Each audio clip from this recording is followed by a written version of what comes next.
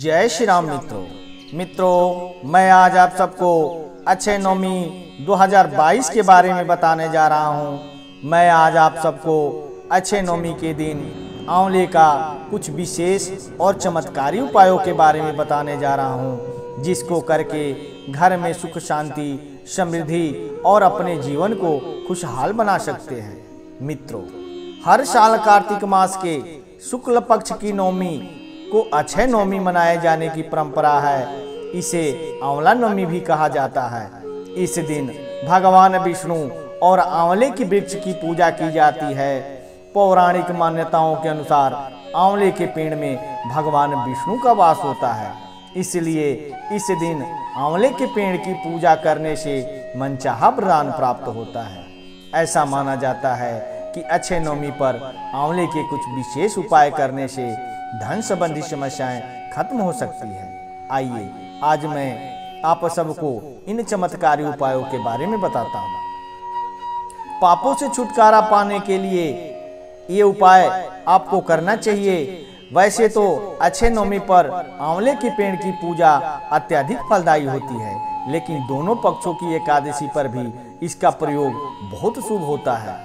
एकादशी पर जो लोग पानी में आंवले का रस डालकर स्नान करते हैं, उनके सारे पाप नष्ट हो जाते हैं। अन्न धन के प्राप्ति के लिए अच्छे नवमी के दिन, आंवले के वृक्ष के नीचे गरीबों को भोजन कराना बहुत ही उत्तम माना गया है। जो लोग ये उपाय करते हैं, उनके घर में अन्न धन के भंडार कभी खत्म नहीं होते हैं। सभी मनोकामनाओं की पूर्ति और सभी कष्टों से छुटकारा पाने के लिए अच्छे नवमी पर आंवले का दान करना बहुत शुभ माना जाता है।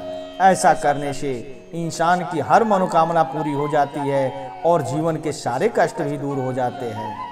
घर से नकारात्मक ऊर्जा को खत्म करने और सुख समृद्धि प्राप्त करने के लिए अच्छे नवमी के दिन घर के आसपास आंवले का पौधे लगाना भी बहुत शुभ माना गया है। शास्त्रों के अनुसार ऐसा करने से घर में नकारात्मक ऊर्जा प्रवेश नहीं करती है और घर की सुख समृद्धि बनी रहती है।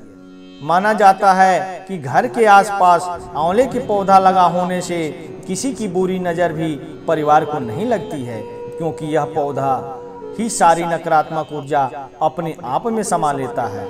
भगवान विष्णु की कृपा और घर में माँ लक्ष्मी की वास करने के लिए आंवले की पूजा करने से न सिर्फ़ भगवान विष्णु का आशीर्वाद मिलता है, बल्कि माता लक्ष्मी भी प्रसन्न होती है।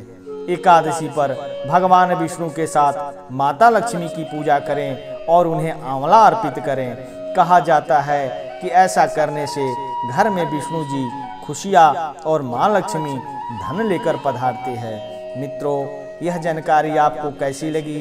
अगर यह जानकारी आपको अच्छी लगी हो तो प्लीज़ चैनल को सब्सक्राइब करके एक लाइक कर देना और हाँ बेल आइकन को दबाना ना भूलना, क्योंकि मैं इस चैनल पर हिंदू सनातन धर्म से जुड़ी व्रत त्योहार, पूजा पाठ और वेद पुराणों में वर्णित सिद्ध चमत्कारी मंत्रों का वीडियो रेगुलर बेस पर लेकर आता रहता हूँ। इसका नोटिफिकेशन आपको सबसे पहले मिले और आप इसका लाभ प्राप्त कर सके। और मैं अच्छे नमी आंवला नमी का बहुत सारे वीडियो इस चैनल पर अपलोड कर रखा हूँ। आप उसे देखें और उसका लाभ प्राप्त करें। तब तक के लिए इतना ही। धन्यवाद।